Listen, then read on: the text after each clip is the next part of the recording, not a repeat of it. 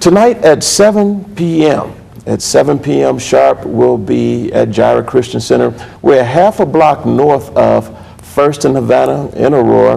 Okay. Um, there's a Firestone and there's a Mass Auto Palm. We're right there in that strip mall area, and God is blessed. There's going to be fire.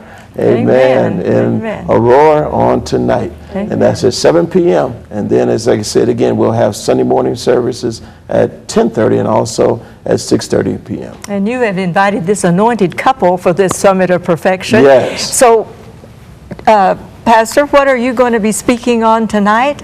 Well, Give us a um, little sample of what's going to happen in that well, meeting tonight. Well, to go along with, with what this apostle here just said, this brother here is awesome. To go along with what he said about the fivefold, the thumb, you know, the, the hand. Right. When you look at the word hand, the word hand in the Hebrew is yod. When Moses was was had uh, went back into the wilderness or back to the mountain to get the other tablets, he broke the first ones, and God wrote with his hand. And Moses, he made Moses write the second one. I guess Moses would appreciate it more and not break it. but when he went back, he, Moses begged God. He said, "Show me your glory." Remember that? Show me your glory.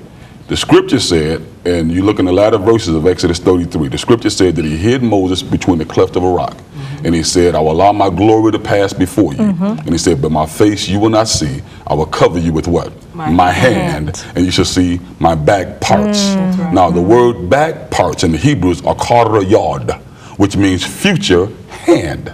I will show you Moses, the apostle, the prophet, the evangelist, the pastor, Yes, and the yes. teacher. Oh, he showed him the akar yod, which means the future hand. Now, in the Hebrew, they have a word called echad. Echad means one. Shema Yisrael, Yahweh Elohim, Yahweh Echad. One. Now, when we say one, we think of a number one. Right. But when they say one in Israel, they mean one whole complete. The word echad means one whole. That's right. Now, uh, the, the Greek term is episunagoge. Episunagoge is the same word found in Hebrews 10 where it says, forsake not the assembling of yourselves together. Mm-hmm. That word assembling is episunagoge, mm-hmm. which means come together after you get come together. together. That's mm-hmm. So it don't mean meet in the church building. That's It means once you get there, become echad, episunagoge, Become one. Unified. Remember the lady with the uh-huh. 10 coin necklace? Uh-huh. When Right. one of the coins fell off, she didn't have one necklace anymore. It was no longer echad.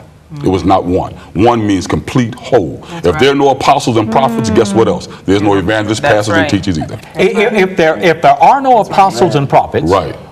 what, at, at what point do we say, okay, we don't have those, but we've got these? Right, Right. exactly. That's I mean, they're all the fivefold It is ministry the hand. That's right. that Jesus Right, ascended right. That we could have. right. It is the hand. Yes, and it is the hand of God Yes, it is. Right. extended. Amen. We are Right. His hand. Yes, we are. What, Yes. what, what did Elijah see when it was time for the rain to come again? He saw a cloud about what? The size of a man's man's hand. hand. What did what did David get from the brook when he got ready to fight Goliath? He went and got five Five stones. smooth Yes. stones. That's right. Now you got five stones for several reasons. Five is the number of grace. Five is the number of the hand of ministry. Right. And Goliath had four brothers. Yes, it is. Humble ourselves under the mighty hand of Hand God. of God. That He would exalt us in due season. Yes, so exactly. right. we have to submit ourselves to that fivefold Right. ministry as Yes. well. Right.